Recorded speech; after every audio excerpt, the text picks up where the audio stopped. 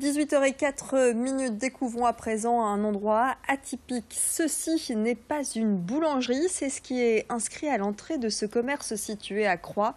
Il vient tout juste d'ouvrir. Sa particularité, être à la fois une boulangerie, une épicerie et une galerie d'art. Le pain est élaboré sur place. L'épicerie propose des aliments sains, pour la plupart vendus en vrac.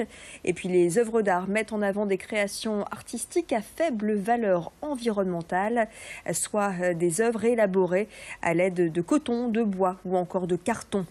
Ce lieu, c'est l'idée de Cécile et Anne. L'une a passé son CAP boulangerie, l'autre est artiste.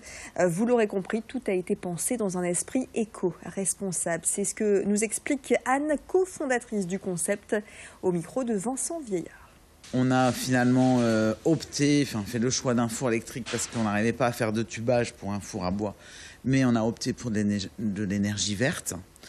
Et sinon, on a un pétrin et un batteur pour mélanger les pâtes. Sinon, rien d'autre.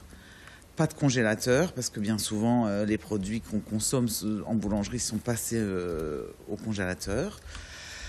Pas non plus de diviseuse ni de façonneuse. Tout la pâte est divisée à la main, pesée à la main, elle est façonnée à la main, et c'est pour ça que euh, ça, représente plus de travail. Notamment la baguette, on n'en aura pas. Euh, c'est les premiers arrivés, les premiers servis, parce qu'il n'y. Euh, y en aura pas mille, parce que façonner une à une chaque baguette à la main, c'est un travail assez important.